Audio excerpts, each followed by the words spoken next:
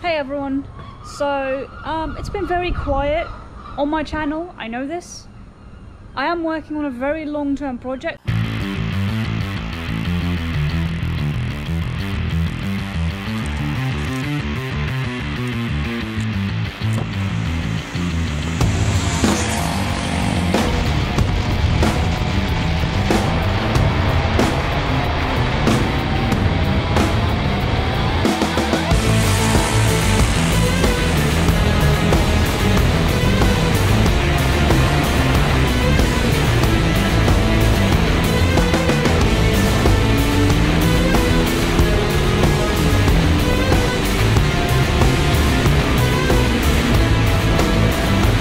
Which got ground to a halt because of the following situation.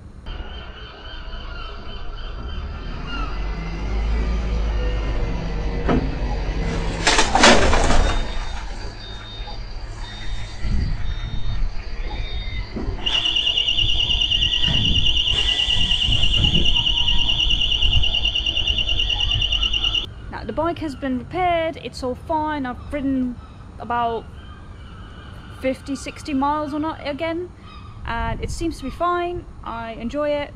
I'm glad to be back on this thing. Funnily enough before this happened literally the saturday before this happened i put it on the dyno.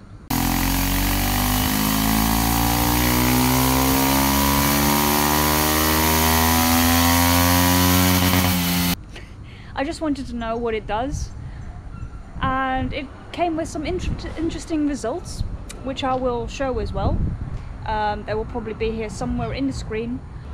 I just kind of wanted to do a quick update um, and there is something to come. Because with the dyno, we found out no matter how many miles I can do on a single tank, it still runs really rich.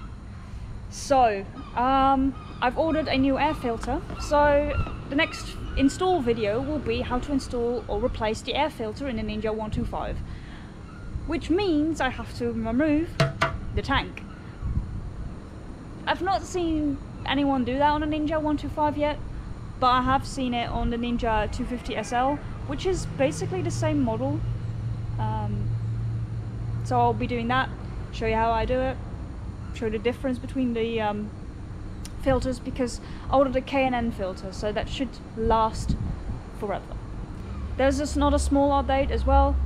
I am going to do my full license in September and I rode a Z650 for 30 minutes to have an assessment and they were quite happy with me so I should be able to get my full license in four days time in September.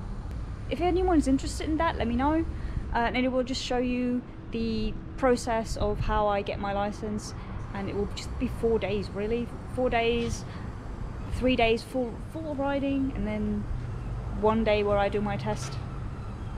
So yeah let me know if you're interested in that. That's just going to be happening. So I hope to get like a big bike in 2022 or something like that. I'm not quite sure. That doesn't mean I will get rid of Hades. Uh, I will keep her. Uh, I'm not quite sure what I'll do with her but we'll figure something out. And that's it. That's the update from me